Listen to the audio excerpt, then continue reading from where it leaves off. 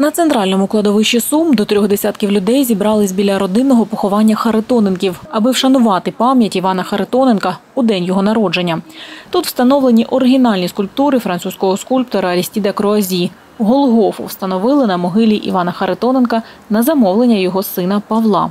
Тут в склепіння, підземній камері, е, до якогось там річчя Харитоненків туди спускалися працівники спецкомбінату, обстежували, бо думали замостити плиткою з цією. Ну і думали пересвідчити, чи в нормальному стані, чи плитка не провалиться. Працівники сказали, що все прекрасно, в прекрасному стані, і що там п'ять трун. І це труни Івана Герасимовича Харитоненка, чий день народження ми сьогодні зібралися відзначити. Його дружини Наталі Максимівни Ліщинської.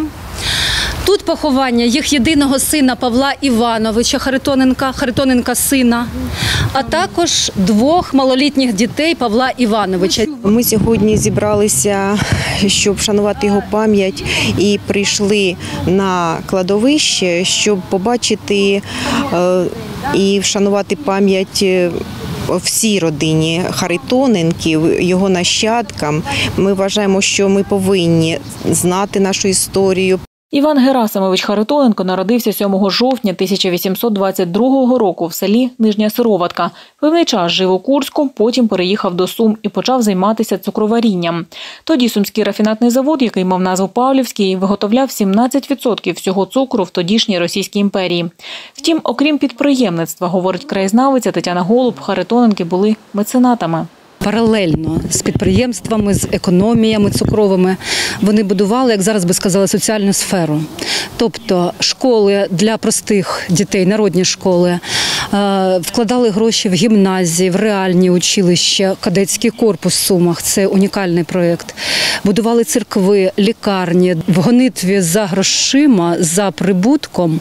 Нинішні скоробагатьки забувають про те, що на їх підприємствах, на їх бізнесах працюють люди, а у людей є потреби.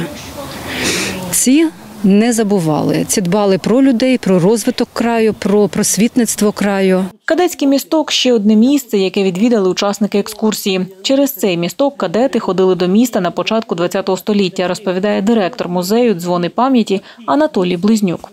Місток асоціюється із Харитоненком тим, що в першу чергу ініціатива була Івана Герасимовича Харитоненка. А хто будував?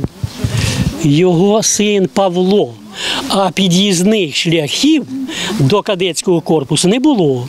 І Сумська міська дума виконала прохання кадетського корпусу, колективу кадетського корпусу про улаштування дороги. Тут потім е, була бруківка. А якщо щоб по дорозі їхати, то треба ж місток. А тут якраз ярок був.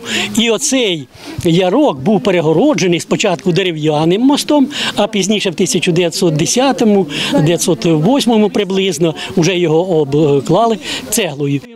Це приклад кожній людині, яка не має освіти, не має стартових капіталів, як е, потрібно жити, як потрібно навчатися, е, як потрібно любити місто, як потрібно працювати і бути людиною. Такий важкий час це дуже приємно, що відтворюються е, такі екскурсії. Вони дають можливість почути і побачити, які були люди, і з кого бра... треба, потреб- треба брати приклади. Катерина Гладенко, Віктор Лапченко. Новини на Суспільному Суми.